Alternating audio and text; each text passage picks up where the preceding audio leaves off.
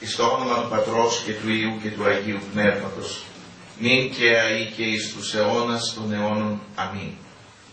Παναγία Δέσποινα, Άγιοι Άγγελοι και Αρχάγγελοι, τιμίε πρόδρομε, Αποστόλων οι δωδεκάς, όσοι οι μάρτυρες και θεοφόροι πατέρες,ημένες και διδάσκαλοι της οικουμένης, οι καλώς αθλήσαντες και στεφανοθένες, πρεσβεύσατε το ελεήμονι Θεό, είναι πτεσμάτων άφεση παράσκητες ψυχές ημών. Αμήν. Ευλογήτως ηρουισένων Θεός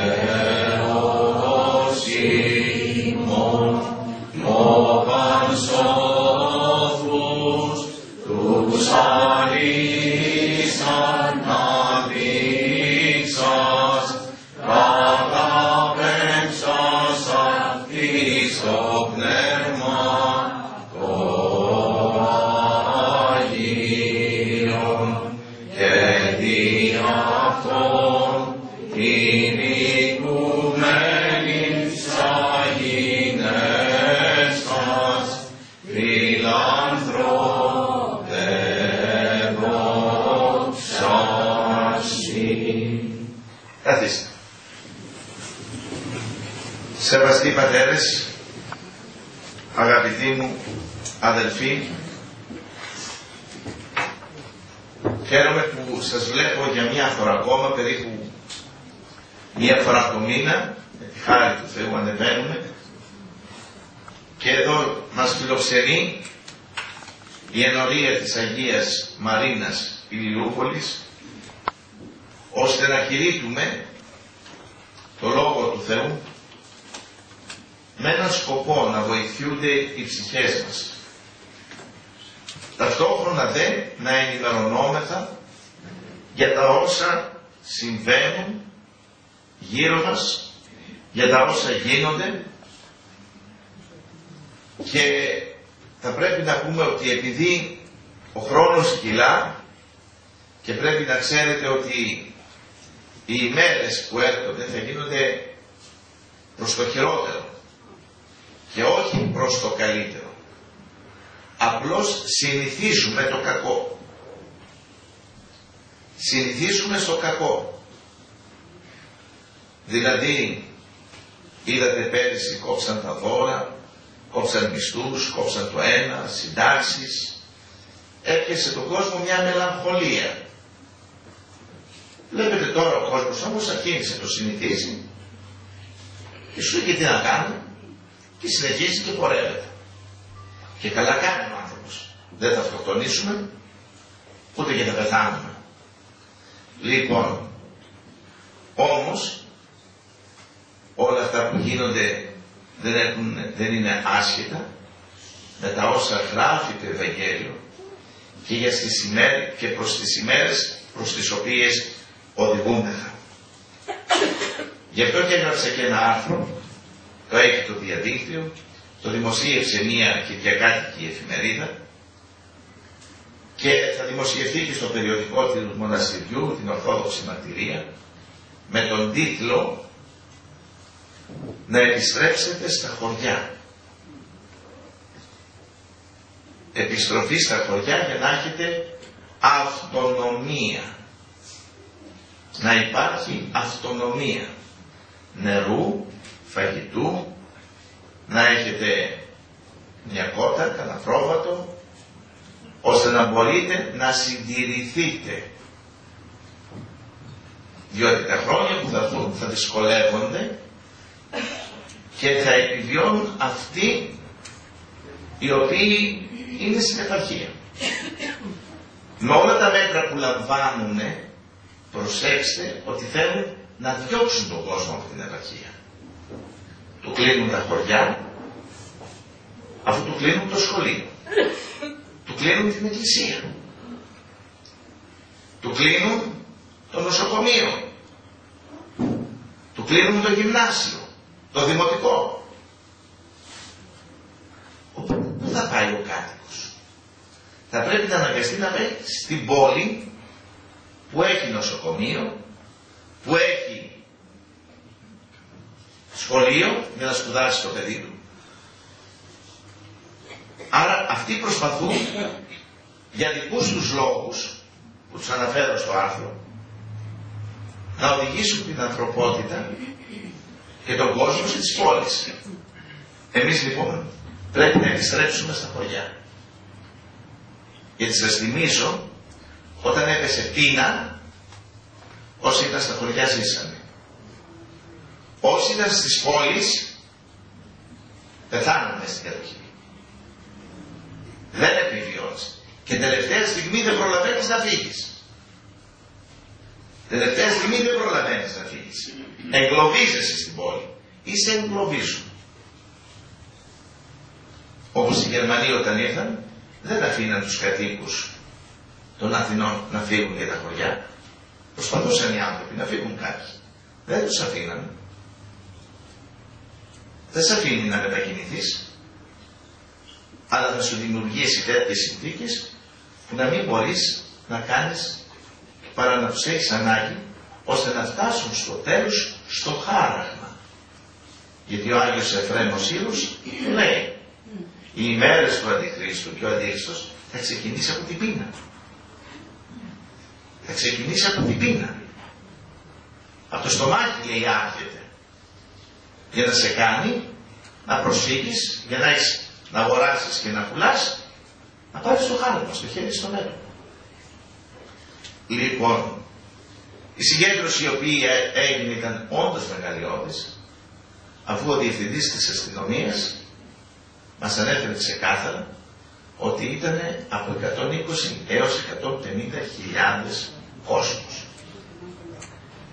Εάν δείτε βίντεο που υπάρχει, υπάρχει ακίνητη κάμερα στη σταδίου που τραβάει τον κόσμο μισή ώρα, ακίνητη κάμερα, και περνάνε χιλιάδες άνθρωποι από μπροστά.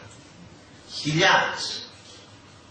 Φυσικά τα μέσα μαζικής ενημέρωσης δεν είπαν τίποτα. Όμως, γιατί αυτή ήταν η εντολή. Μην νομίζετε ότι τώρα που έχουν απεργία είναι τυχαία. Περνάνε νομοσχέδια το δεύτερο μνημόνιο. Περνάνε το δεύτερο μνημόνιο. Δεν μπαίνετε εσείς μέσα στο, στο διαδίκτυο. Στο διαδίκτυο γράφουν το τι γίνεται στη Βουλή αυτή τη στιγμή.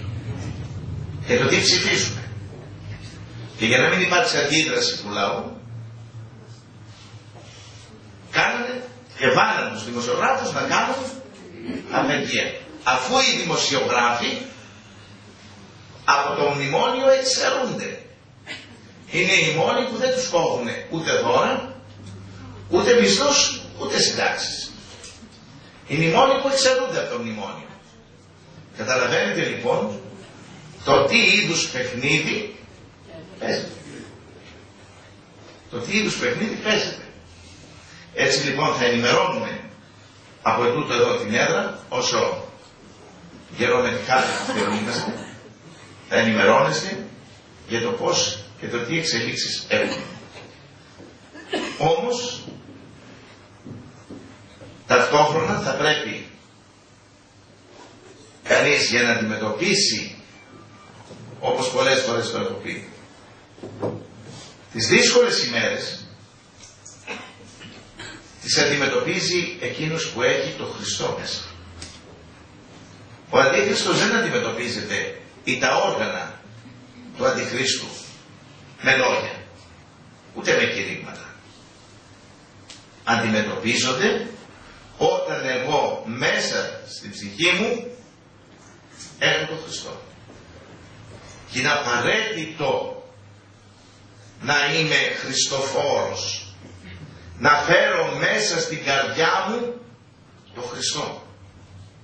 Αυτός ο οποίος έχει μέσα στην καρδιά του το Χριστό, αυτός είναι εκείνος ο οποίος θα μπορέσει να νικήσει εκείνη την εποχή και τον Αντίχριστο. Και είναι αυτός ο άνθρωπος ο οποίος δεν απελπίζεται, δεν φοβάται, αλλά αγωνίζεται όπως αγωνιζόταν και πιο πριν. Δεν σταματάει την εργασία του. Ας ξέρει ότι φτάνει το τέλος. Θα μας βρει ο Κύριος μέχρι τελευταία στιγμής εργαζομένους στον αμπελώνα και στη δικαιοσύνη του Θεού. Δεν σταυρώνουμε τα χέρια μας και λέμε έρχεται ο Αντίχριστος οπότε να μένει. Όχι. Και γι' αυτό το λόγο πολλές φορές με ρωτούν και μου λένε Αγέροντα, εσείς λέτε έρχεται ο Αντίχριστος. Και χτίζετε, συνεχίζετε να χτίζετε το μοναστήρι. Το και βεβαίως. Το λέω εδώ και, τρία... το λέω εδώ και 30 χρόνια ότι έρχεται ο Αντίχριστος. Σκέφτεστε λοιπόν να έχω σταματήσει το μοναστήρι, θα τα στατανέλια. Διότι την ώρα και την ημέρα θα τη δείξει ο Κύριος. Θα έρθει και θα τον δούμε. Δεν θα είναι κρυφός, αλλά εκείνη την ώρα θα δώσουν τη μάχη αυτοί που έχουν το Χριστό μέσα τους. Άρα λοιπόν πρέπει να οπλιστούμε με τον Χριστό.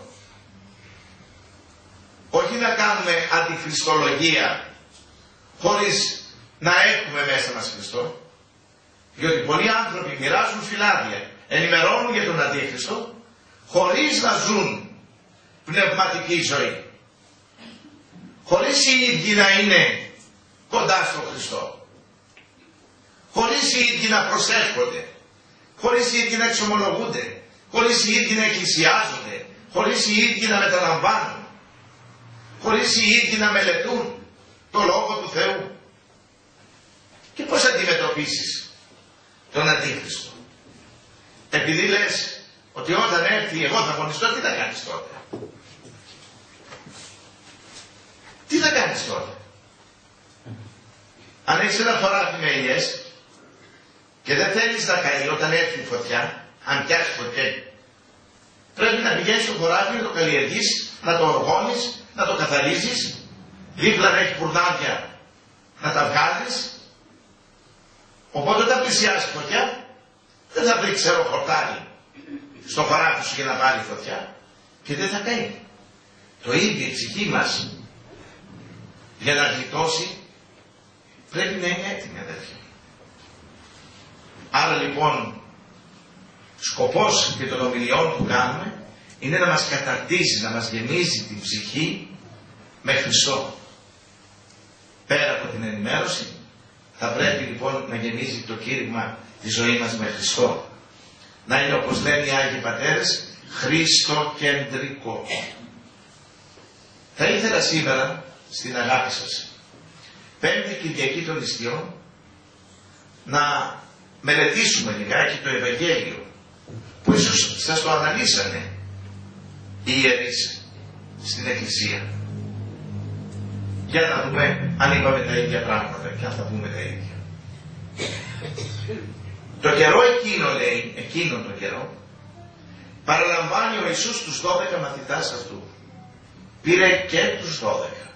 Άρα μεταξύ αυτών πήρε και τον Ιούδα. Που ήξερε ότι σε λίγο θα τον προδώσει.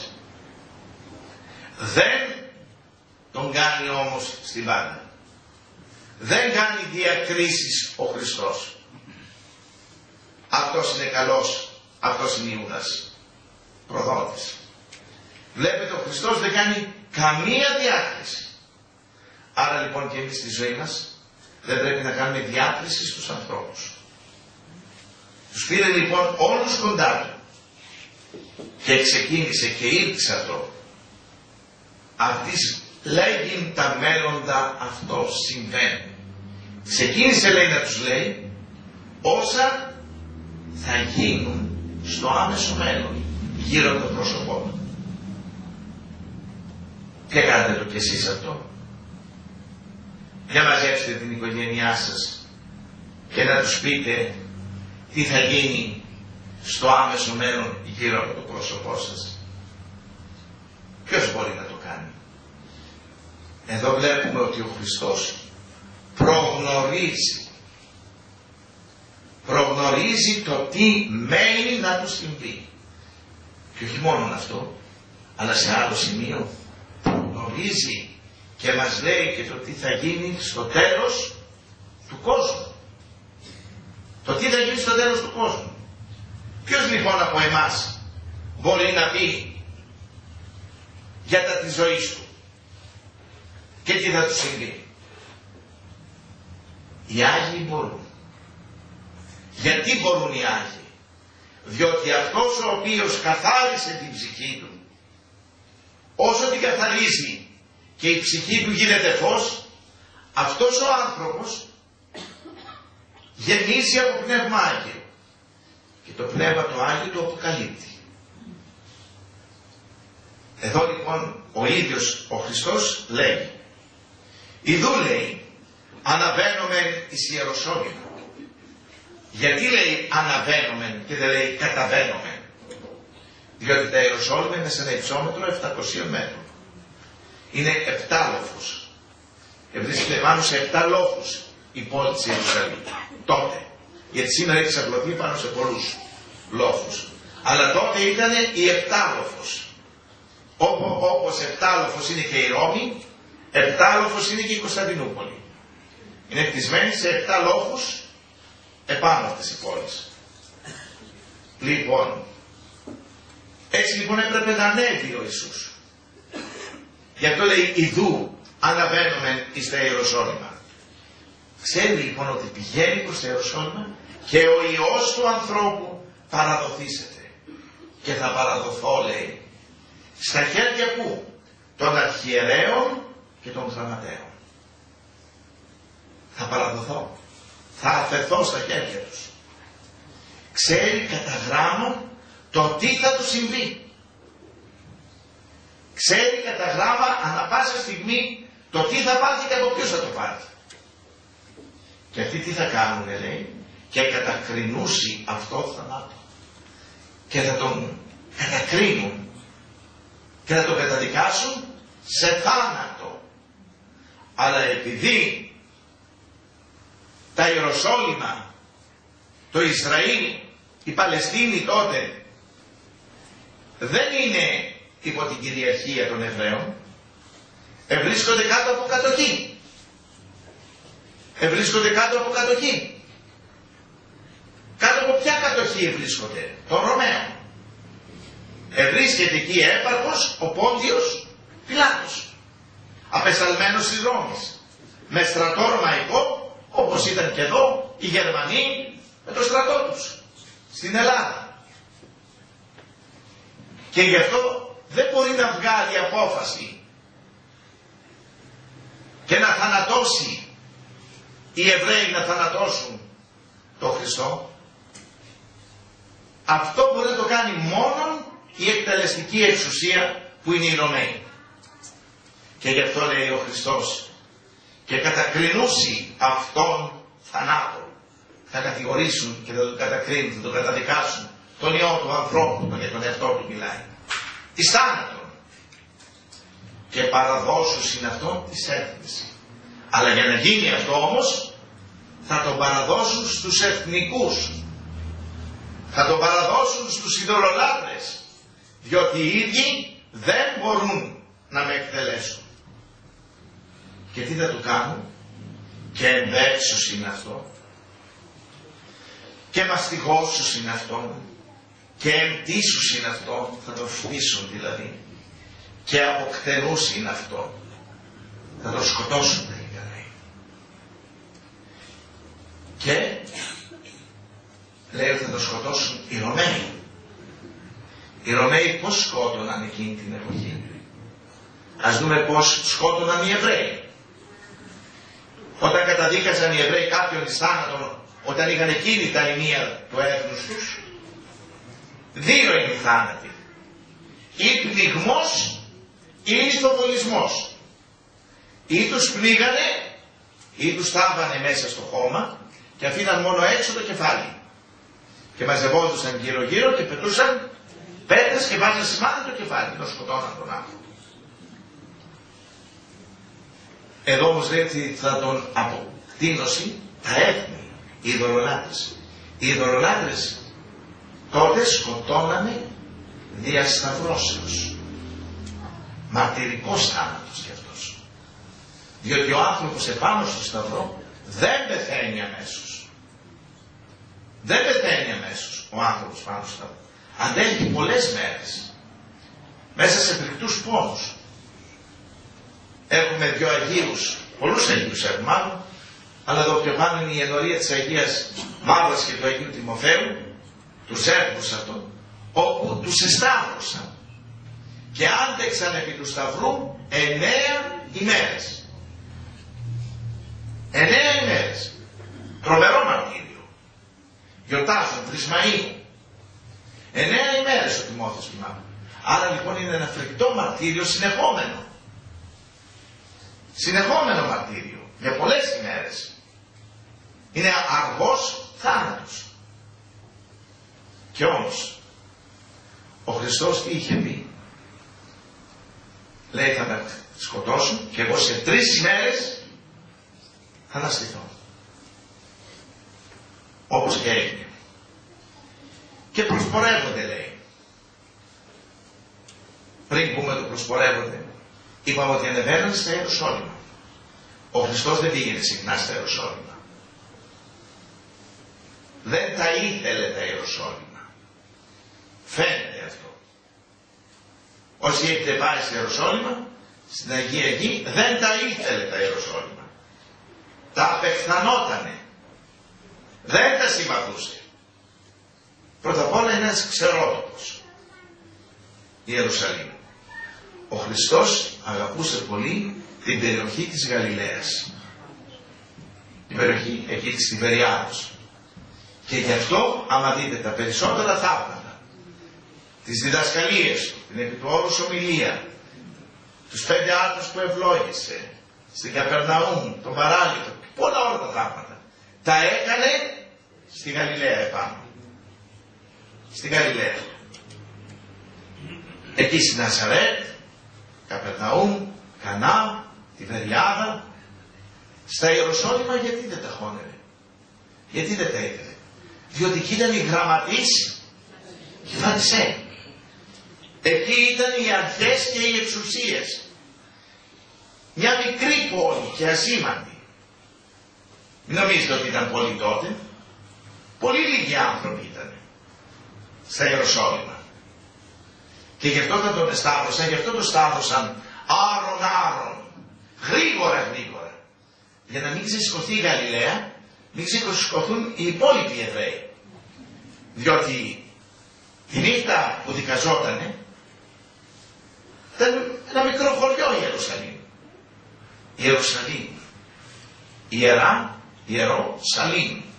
Σαλήμ σημαίνει ειρήνη. Η Αγία Πόλη της Ειρήνης. Και μόνο η ειρήνη δεν έχει επικρατήσει ποτέ εκεί κάτω. Το μόνο που δεν έχει υπάρξει είναι η ειρήνη εκεί κάτω.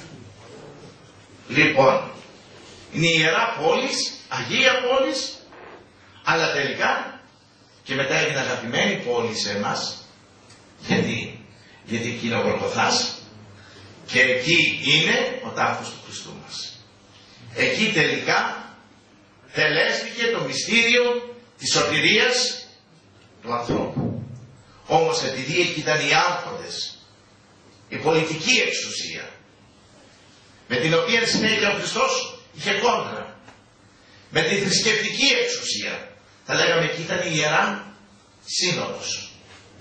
Τα γραφεία της Ιεράς Συνόδου και ο Χριστός δεν ήθελε τέτοιες επαφές. Και δεν πολύ πήγαινε. Και πήγαινε μια φορά το χρόνο. Σύμφωνα με το έθιμο, διότι έπρεπε οι Εβραίοι μία φορά το χρόνο να προσκυνούν στο ναό του Σολομώνα. Και έτσι κατέβαινε, πήρε τους μαθητές του, πλησίασε το Πάσχα και έπρεπε να πάει να τους φιλήσει. Ιδερχόταν το Πάσχα. Και ξεκινάει πιο πριν. Ευρίσκεται πιο πριν, 40 μέρες πιο πριν, πού βρίσκεται ο Χριστός μας. Πριν της Σταύρωσης 40 μέρες. στα μέρη της Γαλιλαίας. Ξέρει κανείς σε ποιο συγκεκριμένο βρίσκεται; 40 μέρες πριν τη Σταύρωση. Στο; Στο όρος Σταβόρ. Στο όρος Σταβόρ είναι ο Χριστός. Όπου και γίνεται η μεταμόρφωσή του. Η μεταμόρφωση δεν έγινε ποτέ σε Αυγούστου. Η μεταμόρφωση έγινε 40 ημέρες πριν τη Σταύρωση. Είναι όταν σε είδωση σταυρούμενο το μεν πάθος νοήσος είναι κούσιο. Τους ανέβασε πάνω τους μαθητές γιατί μετά από 40 μέρες ήξερε τι θα γίνει. Και οπότε οι μαθητές θα σκανδαλιζόντουσαν, θα απομακρυνόντουσαν, γιατί θα λέγανε πιστέψαμε έναν Μεσσία, δηλαδή ένα σωτήρα, ο οποίος ήταν ένα τίποτα. Ένας σκέτος άνθρωπος. Οπότε ακολουθήσαμε ένα πλάνο. Ήξερε ότι θα τον φωνάξουν πλάνο. Και πλανεμένο. Άρα λοιπόν Γνωρίζοντας αυτό ο Χριστός το τι γίνεται, τους λέει ελάτε εδώ μαζί μου να ανεβούμε πάνω στο όρος για να δείτε τι, για να κάνετε τη μεταμόρφωση. Και τους έδειξε λίγο, λίγο από τη δόξα. Και έλαμψαν τα ημάτια αυτού ως ο ήλιος και το πρόσωπό του. Και δεν μπορούσαν να βλέπουν άλλο. Και τους είπε δεν θα το πείτε σε κανέναν αυτό που είδατε παρά μόνο μετά την Αναστασία μου. Μετά την Αναστασία μου θα το πείτε. Και γι' αυτό λέει μετά την Ανάσταση κατενόουσαν οι μαθητές ότι τους έλεγε τότε. Δεν είχαν κατανοήσει. Γιατί όταν τον είδανε μέσα σε τέτοια δόξα, οι μαθητές και βλέπουν και εμφανίζεται ο Μωυσής και μιλάει μαζί του ένας πεθαμένος. Εδώ και εκατοντάδες χρόνια πιο πριν εμφανίζεται ο προφήτης Ηλίας και μιλάει και συνομιλεί μαζί του. Και ποιος ξέρει και τι μιλιάδες άγγελοι μπορεί να ήσαν παρόντες. Μέσα σε αυτή τη δόξα και τη λάμψη. Και εκεί τους απέδειξε ότι εγώ είμαι ο Θεός. Δείτε ότι είμαι το φως. Εγώ είμαι το φως του κόσμου. Εγώ είμαι ο δημιουργός σας. Και έτσι κατεβήκανε μετά. Γι' αυτό θα δούμε παρακάτω, βλέποντας αυτό, ο Πέτρος, ο Ιωάννης, ο Ανδρέας, τι που είχαν ανέβει πάνω ο Ιάκωβος, σου είπαν εδώ πρόκειται περί μεγάλου βασιλέως. Έχει να γίνει εν αυτού, θα δοξαστούμε και εμείς. Θα δοξαστούμε και εμείς. Και τι γίνεται αδέρφια. Γι' αυτό θα δούμε παρακάτω που λέει και προπορεύονται αυτό Ιάκωβος και Ιωάννης οι οποίοι ήσαν παρόντες στο όρο Σταβόρ. Και τι του λένε; Οι οίκους Ζεβεδαίου λέγοντας διδάσκολε, διδάσκαλε θέλομεν είναι ο εάν ετήσομεν. Θέλουμε δάσκαλε του λέει, ό,τι σου ζητήσουμε, ποιήσεις ημί, να μας το κάνεις. Έχεις τη δύναμη εσύ. Ο δε είπε αυτής. Τι θέλετε ποιήσε με ημί, τι θέλετε να σας κάνω; Οι δε είπαν αυτό. Του είπαν. Δώσει μην είναι, είσαι εκ δεξιών σου και είσαι ξεμονίμων σου καθίσομεν εν τη δόξη σου. Είχα δει τη δόξα του. Λίγο λέει από τη δόξα ήταν. Λοιπόν, όταν την πάρεις όλη τη δόξα και κατατροπώσουμε τους Ρωμαίους, κατατροπώσουμε τους εχθρούς, πάλι μας σε παρακαλούμε εμείς που είμαστε και πρωτόκλητοι. Πάλι μας σας παρακαλούμε Κύριε ή τους Ζεβεδαίου. Έναν εκ δεξιών και ένα εξ Εδώ βλέπουμε τι; Ότι οι Απόστολοι είναι άνθρωποι. Και βλέπουμε το πάθος του εγωισμού, της αρχομανίας και της φιλοδοξίας. Πάθη τα οποία τα έχουν οι άνθρωποι. βλέπουμε το τι πάθος βγήκε. Παρότι είναι ήδη τρία χρόνια κοντά στο διδάσκαλο, κοντά στον Χριστό, είναι αδιόρθωτοι. Δεν διορθώθηκαν. Άρα μην απελπιζόμαστε στον αγώνα τον πνευματικό που λέμε τόσα χρόνια είμαστε κοντά στον Χριστό. Ακόμα δεν διορθώθηκαν. Εδώ δεν διορθώθηκαν οι μαθητές που είχαν τον Κύριο μπροστά τους μέρα και νύχτα και τους εδίδασκε. Αλλά στο τέλος αγίασαν. Γιατί συνεχίσαν τον αγώνα. Και μετά κατέβηκε και το Πνεύμα του Άγιο. Αφού καθάρθηκαν σιγά σιγά, κατέβηκε και το Πνεύμα του Άγιο. Και γέμισε την ψυχή τους. Παρόλα αυτά δεν απαλλάχτηκαν των παθών. Μην νομίζετε ότι απαλλάχτηκαν. Και θα σας θυμίσω κάποιος πει ότι απαλλάχτηκαν, θα σας θυμίσω ότι ο Πέτρος με τον Παύλο τα κάναν γυαλιά καρδιά. Κάναν τέτοιο τσακωμό για θέμα πίστεως που διακόψανε όπως λέει η παράδοση ο ένας να μιλάει με τον άλλον. Κόψανε την καλημέρα που λένε. Και γι' αυτό πώς τους κάνουμε στην αγιογραφία; Αγκαλιασμένους και τους δυο. Έχουμε Πέτρο και Παύλο μαζί και τους έχουμε και τους δύο αγκαλιασμένους. Γιατί τους κάνουμε αγκαλιασμένους και δεν τους κάνουμε τον ένα δίπλα τον άλλο; Διότι αδέρφια μου, λόγω της φασαρίας που ήταν, που είχαν κάνει, είχαν τσακωθεί και δεν τελειώνουσαν. Γιατί ο ένας υποστήριζε ότι πρέπει να κάνουμε περιτομή και πρέπει να εφαρμόζουμε τον εβραϊκό νόμο, ενώ ο Παύλος έλεγε όχι. Άρα λοιπόν και οι Απόστολοι δεν ήταν απειλαγμένοι των παθών τους, έστω και όταν κατέβηκε το Άγιο Πνεύμα.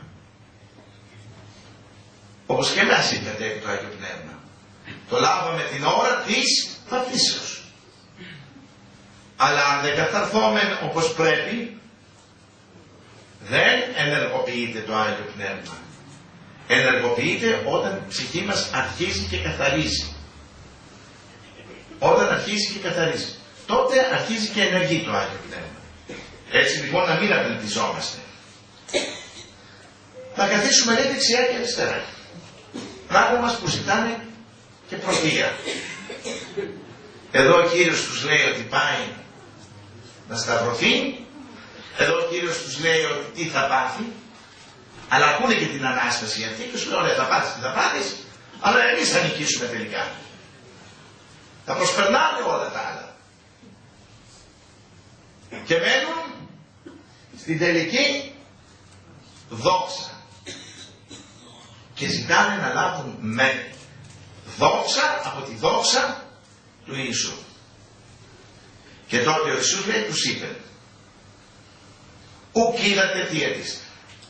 Μου φαίνεται ότι δεν ξέρετε τι ζητάτε. Δεν ξέρετε τι ζητάτε. Μπορείτε να πιείτε λέει το ποτήριο αυτό το οποίο θα πιω κι εγώ και το βάπτισμα εγώ που θα περάσω μπορείτε εσείς να το περάσετε ή δεν είπαν αυτό κοιτάτε γλώσσα γλώσσα δείτε εδώ δυνάμετα και βεβαίως μπορούμε του λέει να περάσουμε το μαρτύριο που θα περάσει κι εσύ και τι έδειξε μετά από λίγο και έτσι ότι οι μαθητές κρύφτηκαν από το φόβο τους. Μόνο ο Ιωάννης έμεινε και η Παναγία από κάτω και οι γυναίκες συμμετοφόρες. Οι υπόλοιποι τα τίναξαν και κλείστηκαν στο υπερόν. Λέω όσοι έχετε πάει Ιεροσόλυμα, το υπερόν είναι εκεί που είναι ο κιοτάφος του Δαβίδ, που ανεβαίνουμε πάνω, που είναι και ο μυστικός δείπνος. Εκεί κρυφτήκανε λέει μέχρι της Πεντηκοστής μέχρι τις Πεντηκοστής ξεμύτησαν λίγο όταν άκουσαν ότι αναστήθηκε και τρέξανε μέχρι τον τάφο. Είδαν την Ανάσταση, αλλά δεν τόλμαγαν να το πούνε. Φοβόντουσαν. Και ήταν κρυμμένοι λέει για το φόβο των Ιουδαίων. 50 μέρες. Αυτοί οι οποίοι είπαν βεβαίως δεν και δυνάμεθα. Βεβαίως και μπορούμε. Δείτε τον ανθρώπινο. Γιατί το λέω, δείτε ξανά και πάλι το ανθρώπινο. Γιατί αδέρφια μου, πολλές φορές στις ενορίες σας, στις Μητροπόλεις, στα μοναστήρια, βλέπετε δασκοφόρους, βλέπετε κληρικούς και νομίζετε ότι είναι Άγιοι. Μα εμείς είμαστε οι Απόστολοι. Δεν είμαστε ο Χριστός. Άρα έχουμε τα ανθρώπινα πάθη, τα οποία και εμείς αγωνιζόμασταν όπως αγωνίστηκαν οι Απόστολοι. Τι σημαίνει λοιπόν όταν βλέπω έναν παπά, έναν δεσπότη, έναν καλόγερο, ότι βλέπω ότι είναι Άγιοι.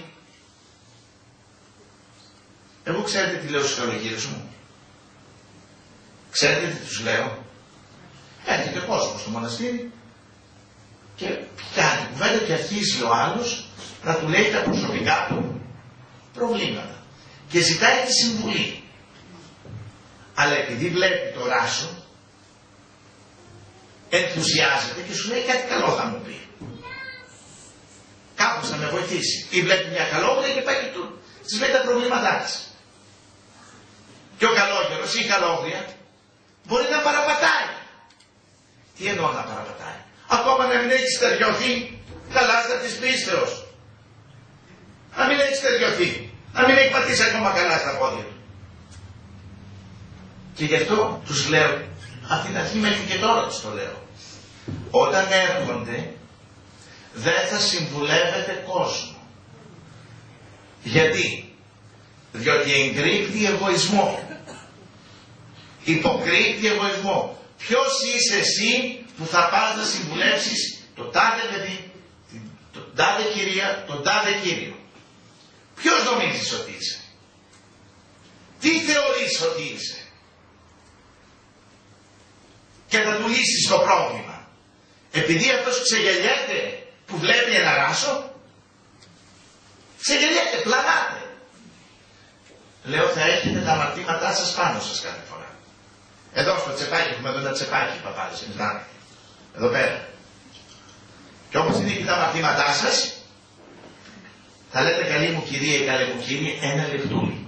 Ζητήσατε τη συμβουλή μου, μάλιστα. Θέλετε να σας συμβουλεύσω. Δυο λεπτά να ακούσετε τα μαθήματά μου. Θα τα ανοίγετε λοιπόν και θα λέτε. Έχω αυτό το μάθημα, έχω εκείνο το αμάρτημα, έχω το άλλο αμάρτημα, έχω το άλλο αμάρτημα, έχω εκείνο το αμάρτημα, έχω εκείνο το αμάρτημα και αφού τώρα πιάσετε 30 μαθήματα που έχετε, μετά πείτε του, τώρα θέλετε να σας συμβουλέψω. Και αν δεν φύγει ο άνθρωπος τρέχοντας, να πει Παναγία μου που έπεσα. Πήγα να με συμβουλευτώ. Αυτό δεν πατάει καλά στα πόδια του. Εκεί πήγα να συμβουλευτώ. Έτσι είναι αδερφέ μου. Μην βλέπετε μια μήτρα στο κεφάλι και νομίζετε είναι δεσπότης δεν σας το είπα προχθές στην προηγούμενη ομιλία. Σε εσάς εδώ δεν το έλεγα. Που πέρασαν στις πόρτες επιμονή και του λέγαμε σεβασμιότατε η Αγία Γραφή μιλάει περί του Αντιχρίστου και για το 666. Λέει πού τα λέει αυτά τα πράγματα; Τι είναι αυτά λέει που λέτε; Πού γράφει λέει για 666. Και πώς το γράφει, στο 13ο κεφάλαιο της Αποκαλύψεως, δεσπότη μου. Οι μοναχοί τον κοιτάγουν τον δεσπότη και τον Λέω θέλετε να φέρω μια γραφή; Φέρτε μου με τώρα τη γραφή. Ενώ θα τη φέρουμε. Τη φέρω τη γραφή και εδώ του λέω. Το κοιτάει, αμάν δεν το λέει. Λέει, δεν το έχω προσέξει. Δεν θα το είδε. Λοιπόν, δεν ήξερε τι, τι σημαίνει. Επειδή είναι δεσπότης τα ξέρει ή διαβάζει η γραφή. Νομίζετε ότι και προλαβαίνει. Ο δεσπότης τι είναι; Άλλο σήμερα είμαι αρχιμαντρίτης. Αύριο μπορεί να είμαι δεσπότης. Τι σημαίνει. Αν δεν διαβάζω σαν αρχιμαντρίτης, αν δεν διαβάζω σαν διάπος, αν δεν μελετάω σαν καλόγερος, ξαφνικά επειδή μου βάλουν μια μήτρα στο κεφάλι, ότι θα έμαθα. Το ίδιο λοιπόν ισχύει. Επειδή φόρεσε ένα ράσο, σημαίνει ότι έγινα Άγιος και ότι τα γνωρίζω. Αυτό τι σημαίνει ότι επειδή ο Χριστός κάλεσε τους 12 μαθητές κοντά του, δεν βλέπετε τι γίνεται. Χαμός γίνεται. Ο ένας του βγήκε Ιούδας, προδότης. Ο Θωμάς, άπιστος, δύσπιστος στην καλύτερη των περιπτώσεων. Δηλαδή τι έλεγε ο Θωμάς; Σιγά μην αναστήθηκε. Αυτό έλεγε. Σιγά πιστεύετε ότι αναστήθηκε. Θα πιστεύετε αυτά που λέτε. Ο Πέτρος τι έκανε ο άλλος; Ο οποίος κράταγε και τα κλειδιά του παραδείσου. Τρεις τον αρνήθηκε. Και οι υπόλοιποι τι κάνανε; Το βάλαν στα πόδια και κρύφτηκαν. Το βάλαν στα πόδια και κρύφτηκαν. Το σκέφτεστε αδέρφια μου να υπήρχε τηλεόραση την εποχή εκείνη; Και να λέγανε η Μαγδαληνή να έλεγε τον είδα στη Γεστημανή και μου είπε Μαρία μη με αγγίζεις μη μου και του φώναξα ραβουνί διδάσκαλε τον μίλησα τον είδα Και από την άλλη τηλεόραση μας έπαιρνε. Τη βλέπετε τι λέει Παναβή. Ακούστε τι λένε οι μαθητές. Θωμά τι έχεις να πεις. Άντε καλέ που αναστήθηκε. Εγώ άμα δεν τον δω, αυτά που λέει η Μαγδαληνή και οι υπόλοιπες αντίστατα. Γυναίκες είναι. Ό,τι θέλουν λένε. Και έπαιζε πως θα έπαιζε αυτός στην τηλεόραση. Καλά που δεν υπήρχαν δημοσιογράφοι τότε. Έχει κάνει εκπομπή ο Βαγγελάτος. Και οι υπόλοιποι, ποιος θα τους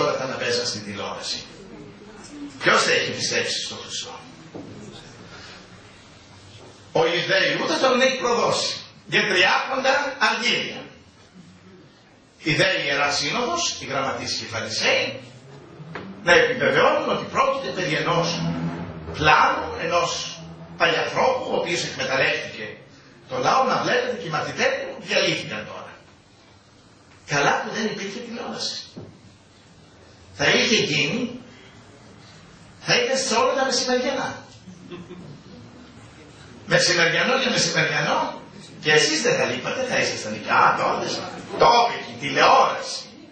Τόπικη τηλεόραση θα λέγατε. Και να κλαίτε γι' αυτό γιατί θα ήσασταν από εκείνες που θα τον κατηγορούσατε και εσείς σου. Γιατί θα σας παρέσει η τηλεόραση. Όπως τώρα όταν λέει έναν παπά, για έναν δεσπότη, για οτιδήποτε λέει, και δεν σκέφτεστε ότι οι δημοσιογράφοι περισσότεροι είναι πληρωμένοι για να τα λένε αυτά, τα χάβει αμέσως ο λαός. Ό,τι τους σερβίρουν. Και όπως τότε η Ιερουσαλήμ δεν ήταν σας είπα μεγάλη πόλη, λίγοι ήταν. Ελάχιστοι άνθρωποι. Και γι' αυτό πρόλαβαν οι γραμματείς και οι φαρισαίοι και περάσαν από όλα τα σπίτια και τους είπανε ελάτε γρήγορα στον Πιλάτο και ζητήστε τη θανατική του καταδίκη. Εξάλλου οι Ιεροσολυμίτες δεν το ξέρανε. Δεν το ξέρανε. Αφού ήταν συνέχεια προς την Γαλλία, μια φορά το χρόνο κατέβαινε. Δεν το πολύ γνωρίζανε. Και βγήκαν και φώναξαν. Αυτοί που δεν τον γνώριζαν άλλον άλλον. Άλλο και όντουσαν όλοι οι Εβραίοι θα έκανε πρόβλημα τότε. Δεν θα μπορούσαν να το σταυρώσουν. οι λίγοι, οι ελάχιστοι Εβραίοι. Και γι' αυτό ο Θεός τους ξαναδίνει μια ευκαιρία, τους ξαναδίνει στο τέλος που λέει και πας Ισραήλ σωτήσετε. Θα τους δώσει την ευκαιρία να μετανιώσουν και να επιστρέψουν, να τον προσκυνήσουν και να πούν ευλογημένος ο ερχόμενος εν ονόματι Κυρίου. Λοιπόν, βλέπετε λοιπόν αδέλφια μου ότι εκεί που ο ιερέας, εκεί συγγνώμη που Χριστό, λένε στον Χριστό κρύβεται φιλοδοξία όπως σας είπα, αρχομανία, εγωισμός, πάθη ανθρώπινα. Άρα λοιπόν όταν βλέπουμε ένα κληρικό, δεν το περνάμε για Άγιο. Φυλάμε το χέρι του, γιατί ασπαζόμεθα την ιεροσύνη. Σηκωνόμεθα από το κάθισμα για το ράσο. Αυτό που φέρει. Σεβόμεθα το πνεύμα του Άγιου που έλαβε κατά την ώρα της Θείας χειροτονίας του. Αυτό σεβόμεθα. Και γι' αυτό λέει όταν δεις ο Άγιος Κοσμάς ο Ετωλός ιερέα να περνάει και έναν άγγελο πρώτα θα πάει να φιλήσει στο χέρι του ιερέα. Ανεξαρτήτου τι είναι ο ιερέας. Το καταλάβατε λοιπόν. Άρα να μην σκανδαλιζόμεθα όταν βλέπουμε είτε αρχιερείς, είτε ιερείς, είτε μοναχούς να πίπτουν και να λέμε πω πω πω πω είδες. Όχι. Όταν πέφτει κάποιος να κάνετε προσευχή για αυτό. Για να ανανύψει να συνέλθει. Διότι η κόλαση είναι χειρότερη για εμάς. Εάν δεν ανανύψουμε. Διότι ο γνούς πολλά δαρίσατε και πολλά. Λοιπόν έτσι λοιπόν τους είπε είπαν οι μαθητές δυνάμεθα να πιούμε λοιπόν και γλώσσα οι μαθητές. Ο δε Ιησούς είπε να της τους προφητεύει πάλι. Το μεν ποτήριο ο εγώ πίνω πίεστε και το βάπτισμα ο εγώ βαπτίζομαι βαπτιστήσεστε. Θα έρθει η ώρα σας που θα περάσετε τα μαρτύρια κι εσείς αλλά στην ώρα τους. Αλλά όμως το να σας βάλουν να καθίσετε δεξιών μου ή εξεβονίμων και στην εμών δούνε αλλά εις ετοίμαστε δεν είναι θέμα δικό μου αλλά εκεί θα κάτσουν για αυτούς που έχει ετοιμαστεί. Δηλαδή για ποιους εννοεί; Για εκείνους που θα αγωνιστούν να κερδίσουν αυτή τη θέση. Με το προσωπικό τους αγώνα. Με το προσωπικό τους, την προσωπική τους μάχη, διότι όπως έχουμε πει και σε άλλη ομιλία, ο αγώνας μας είναι τριπλός. Πρέπει να περάσουμε από το στάδιο της καθάσεως, του φωτισμού για να φτάσουμε στη θέωση. Πρέπει να καθαρίσουμε την ψυχή μας, να καθαριστούμε. Αυτό έχει πολύ δυσκολία. Προχθές στη σύνταξη που κάνω κάθε Τετάρτη με τους πατέρες, είχαμε θέμα την αοργησία, την οργή.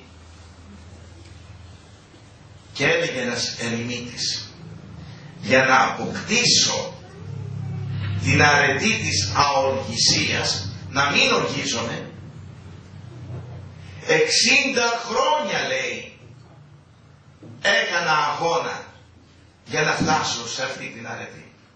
Δηλαδή μετά από 60 χρόνια πέτυχα να μην οργίζομαι.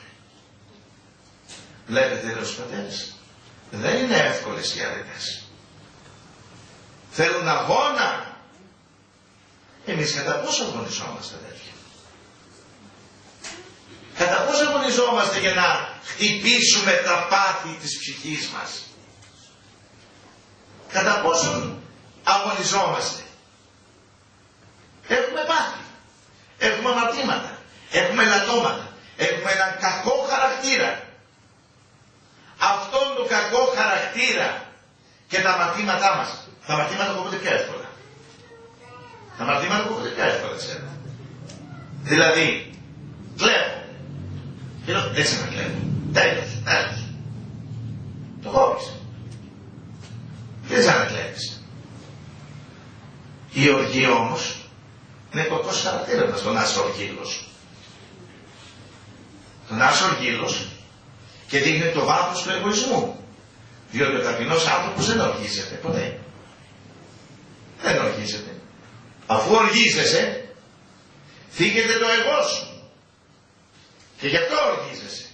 Άρα πρέπει να χτυπήσεις τον εγωισμό. Αν έτσι χτυπιέται ο κόσμος. 60 χρόνια λέει έκανε ο άλλος για να αποκτήσει την ταπείνωση η οποία έφερε σαν καρπό την αοργησία.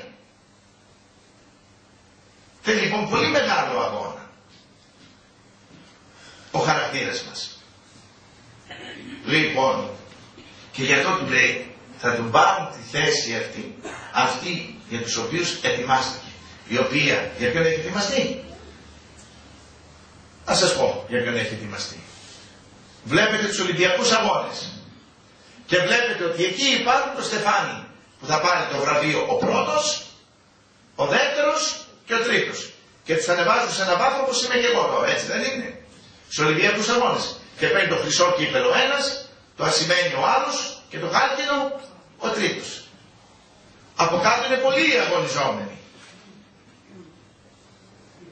Ποιος θα το πάρει; Αυτός ο οποίος και θα νικήσει. Αυτό λέει ο Χριστός. Θα το πάρουν αυτοί οι οποίοι θα βγουν πρώτοι. Αγωνιστείτε για να βγείτε πρώτοι. Να καθίσετε δεξιά και αριστερά. Όποιος αγωνιστεί και το πετύχει, αυτός, όποιος αγωνιστεί και το πετύχει, αυτός την ανέβει σε αυτή την καρέκλα. Γι' αυτό λέει ίσοι είμαστε. Θα τα πάρουν για αυτούς που αγωνίστηκαν και είναι ετοιμασμένοι εκεί οι θέσεις και θα πάνε να κάτσουν. Και ακούσατε οι δέκα, και να ακούσετε τι γίνεται. Οι δέκα πήγαν οι δύο. Αλλά έλα οι δέκα που είχαν αισθήσει αυτοί. Και τι λέει. Αφού το άκουσαν οι δέκα, αγανάκτησαν, εκνευρίστηκαν, ψυχίστηκαν. Μπορείτε να φανταστείτε τι έγινε εκείνη τη στιγμή.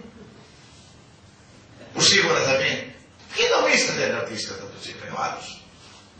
Θα θα κάτσεις και πρώτος και πας και τον γλύφεις στο Χριστό για να κάτσεις πρώτος και ο αδελφούλης σου δεύτερος. Και σκεφτείτε τι θα έγινε εκείνη τη στιγμή. Ο δε Ιησούς προσκαλεσάμενος αυτούς λέγει αυτής. Είδατε ότι οι δοκούντες άρχη των εθνών κατακυριεύουσι αυτών και οι μεγάλοι αυτών κατεξουσιάζουσιν αυτών. Ούχουτος, ούχουτο δε έστε ημί, αλλά ως εάν θέλει και να έστε μέγας εν ημί, έστε ημών πάντων διάκους. Γνωρίζετε λέει αυτό. Το ξέρετε πολύ καλά ότι αυτοί οι οποίοι άρχουν, κυβερνούν τα έθνη, στην ουσία τι κάνουν; Κατακυριεύουν το λαό. Καταδυναστεύουν τους λαούς τους. Ενώ τους βγάλανε για αρχηγούς ο λαός, αυτοί τελικά κατακυριεύουσι, καταδυναστεύουν τους λαούς τους. Γίνονται δυνάστες. Και κάνουν τους ανθρώπους σκλάβους και δούλους. Ενώ αυτοί ζουν σαν πασάδες. Εσείς λέει ουκούτους. Γιατί το λέει αυτό; Διότι ξέρανε, ήξερε ο Χριστός, ότι αφού είναι Απόστολοι, σε λίγο θα άρχουν και αυτοί. Θα άρχουν, θα γίνουν ιεράρχες. Τι σημαίνει ιεράρχης; Είναι ιερός άρχοντας. Θα άρχουν και αυτοί του λαού.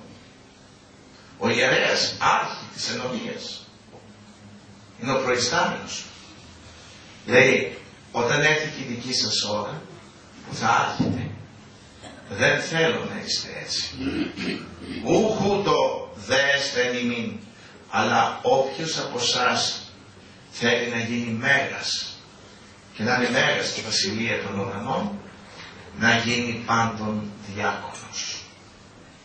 Να μάθετε να υπηρετείτε το λαό του Θεού. Να διακονείτε το λαό του Θεού. Να θυσιάζεστε για το λαό του Θεού. Σε μία εξομολόγηση έλεγα σε έναν νεαρό, ο οποίος ασχολείται με τα κόμματα. Λέω, έλα εδώ παλικάρι μου, λέω. Αυτοί είναι παλιά άνθρωποι όλοι. Μου λέει, γιατί πάτε, μου λέει. Λέω, άκουσε με παιδί μου. Θα σε γυρίσω λίγο στην ιστορία. Για να καταλάβεις. Το παλαιολόγο που έπεσε στο Βυζάντιο όταν έπεσαν η Κωνσταντινούπολη και τη χάσαμε. Μήπως ξέρεις που βρέθηκε το πτώμα του; Μου λέει στα τύχη πάτερ, ήταν μαχόμενος. Μπράβο παιδί μου.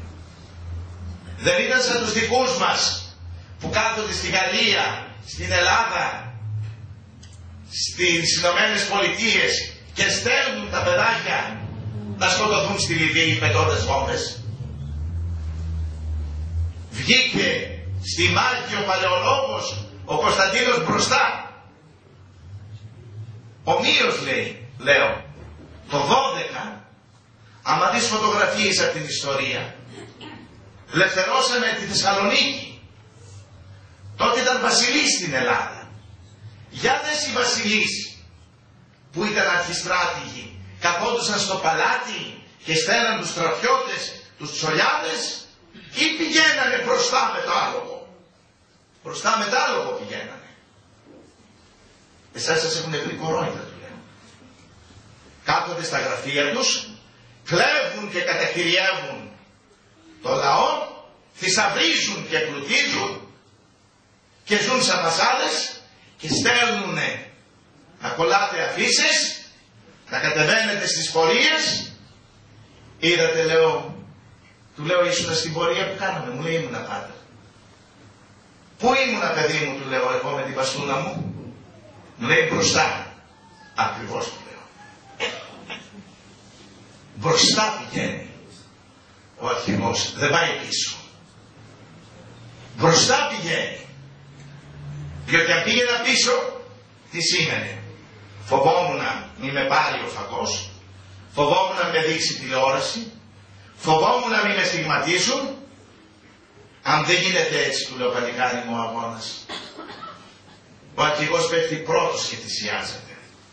Γιατί αυτό δίδαξε και ο Χριστός μας που όταν πέσανε πάνω και τους συλλάβανε στη Γεστημανή μέσα βγήκε ο Χριστός και είπε τι να ζητείτε και αυτός είπε είπαν αυτοί Ιησούν των Λαζωραίων και λέει εγώ είμαι αφήστε λέει τους υπόλοιπους δεν φταίνε σε τίποτα και όπως είπε στην προσευχή του ώστε να μην πάθει κανένας τίποτα εξ αυτών και ο ίδιος ο αρχηγός της πιστεώς μας ως αρχηγός που ήταν πλήρωσε με θάνατο αυτό που έκανε. Με θάνατο το πλήρωσε. Αυτούς λοιπόν παιδάκι μου του λέω που ακολουθείς δεν τους είδα μπροστά. Τους είδα στις πολυθρόνες στα γραφεία τους. Και τους βουλευτές και τους δημάρχους και τους αντιδημάρχους και τους υπουργούς και τους υφυπουργούς και την αντιπολίτευση και τη συμπολίτευση και τους πρωθυπουργούς. Άρα εκμεταλλεύονται. Είτε ανήκουν στο κουκουέ, είτε είναι με την άκρη δεξιά. Ο αρχηγός πάει μπροστά. Αυτό μας δίδαξε. Γιατί αυτή, κοιτάξτε λέει το Ευαγγέλιο, κατακυριεύουση των εθνών. Και το βλέπουμε σήμερα στις ημέρες που ζούμε πάρα πολύ καλά αδελφοί. Το βιώνουμε ότι μας καταδυναστεύουν ότι μας καταδυναστεύουν και όμως συνεχίζουν αυτοί και υπάρχουν. Γιατί είναι δυνάστες. Εγώ λέει δεν σας θέλω έτσι εσάς τους χριστιανούς. Και αυτοί μάλιστα είναι όλοι χριστιανοί. Γιατί έχουν περάσει από μια κολυμπήθρα. Αλλά είναι χριστιανοί αχριστιανοί. Είναι σαν τον Ιούδα. Και ο Ιούδας έγινε Απόστολος αλλά πρόδωσε την αποστολή που έλαβε. Ο Μύρος και αυτοί πέρασαν από την κολυμπήθρα. Οι 300 της Βουλής. Αλλά όμως την αρνήθηκαν. Στη πράξη. τη διδασκαλία του Χριστού. Όποιος θέλει λοιπόν να είναι πρώτος, θα γίνεται διάκονος και δούλος των υπολείπων. Και γάρο Υιός του ανθρώπου, ουκ ήλθε διακονηθήνε. Όπως και εγώ λέει, δεν ήρθα να με υπηρετήσετε. Δεν ήρθα να σας το παίξω αφεντικό και να με υπηρετήσετε. Αλλά ήρθα να διακονήσω τον άνθρωπο και να δώσω την ψυχή μου λίτρων αντίπολων. Και να δώσω την ψυχή μου ως λίτρα. Γιατί το αίμα του πράγματι έγινε ήταν τα λίτρα που αποκτήσαμε εμείς την Χριστό ελευθερία. Που αποκτήσαμε αδέρφια μου την Χριστό ελευθερία. Και αυτή την αποκτήσαμε προς χάρη αυτού του Ιησού. Να λοιπόν το σημερινό Ευαγγέλιο το τι μας είπε. Σας είπα το ερμήνευσαν και οι Έλληνες πιθανόν. Δεν ξέρω αν είπαμε τα ίδια. Μπορεί να είπαμε τα ίδια, μπορεί και να μείναν σε άλλο σημείο και να ανέπτυξε ο καθένας. Όμως το θέμα είναι ένα για μας. Θα γνωρίζουμε το πώς πρέπει να συμπεριφερόμεθα σαν χριστιανοί. Έχουμε αμαρτήματα, έχουμε ελαττώματα. Όπως είχαν και οι μαθητές βλέπετε. Πέρασαν δύο χιλιάδες χρόνια από τότε που ήρθε ο Χριστός πάνω στη γη. Προβληματιστείτε. Δυο χιλιάδες χρόνια μετά Χριστόν Πόσο Χριστό έχουμε βάλει στην ψυχή μας; Πόσο Χριστό έχουμε βάλει μέσα στην ψυχή μας; Δυο χιλιάδες χρόνια μετά Χριστόν. Κατά πόσο ζούμε και κινούμεθα σαν μαθητέ εκείνου; Του διδασκάλου της αγάπης αυτού που ήρθε να διακονήσει να υπηρετήσει και όχι να τον υπηρετήσουμε κατά πόσο ομοιάζουμε εμείς αδέρφια. Μέσα στην οικογένειά του ο άλλος. Κατά πόσο πραγματικά υπηρετούμε το θέλημα και το έργο του Χριστού μας. Είναι λοιπόν το σημερινό Ευαγγέλιο πραγματικά μια πρόκληση για να προβληματιστούμε και να σκεφτούμε το τι είδους Χριστό έχουμε μέσα στην ψυχή μας. Ήρθε οι Άγιες ημέρες του Πάσχα που έρχονται. Οι Άγιες ημέρες αυτές πραγματικά να μιλήσει το πάθος του Χριστού. Γιατί και εμείς το ακούμε το Ευαγγέλιο αυτό. Ιδού αναβαίνουμε εις Ιεροσόλυμα, στην πόλη της Ειρήνης. Σε αυτή την πόλη που έχει χυθεί τόσο αίμα και βάθηκε και με το αίμα του Ιησού μας. Κατά πόσο λοιπόν αδέρφια μου όλοι εμείς αξίζει να λεγόμαστε χριστιανοί. Να φέρουμε αυτό το τιμημένο όνομα. Εμείς δεν είμαστε νεοδημοκράτες. Εμείς δεν είμαστε πασοκατζίδες. Εμείς δεν είμαστε κνήτες. Ούτε ανήκουμε σε καμιά παράταξη. Εμάς αρχηγό μας έχουμε έναν, τον Χριστό. Γι' αυτό και ονομαζόμαστε χριστιανοί. Αλλά πρέπει για να είμαστε χριστιανοί να ζούμε και να βιώνουμε κοντά στο Χριστό μας σύμφωνα με το θέλημά Του. Αμήν.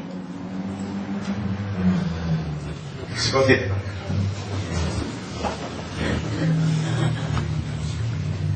Διευχών των Αγίων Πατέρων ημών, Κύριε Ιησού Χριστέ ο Θεός, ελέησον και σώσον ημάς. Αμήν.